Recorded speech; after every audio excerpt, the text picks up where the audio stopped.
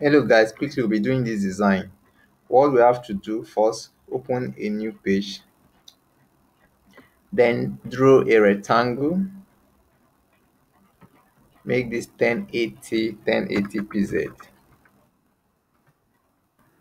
then strike enter then p to center it and give it a color preferable color then make a duplicate with your plus key then drag this right about the center point. Then give this another color. Next is to convert it to curve control q.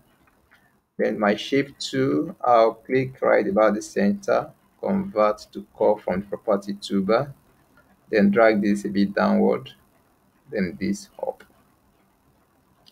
Next i'll get my ellipse.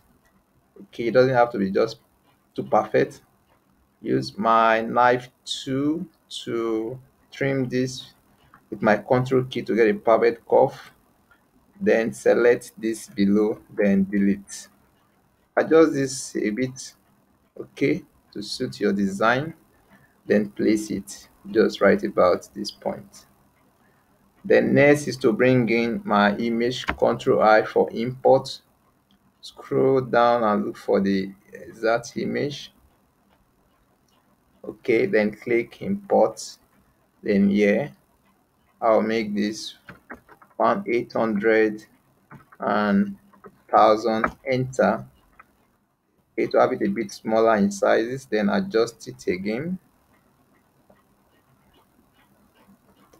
Then next is to power clip it from effect. Power clip place inside container right on this right click edit content then adjust it accordingly.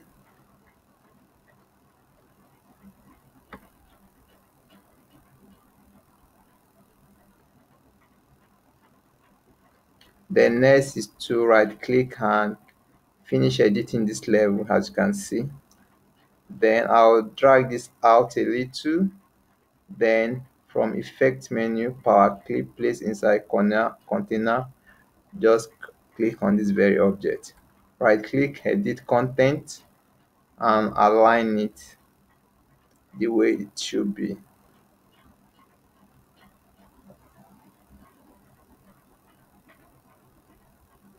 Okay then give it no outline right click at that point then right click and click finish editing this level.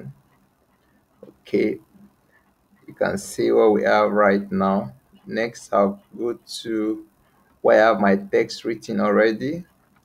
Copy ctrl c then ctrl v to paste.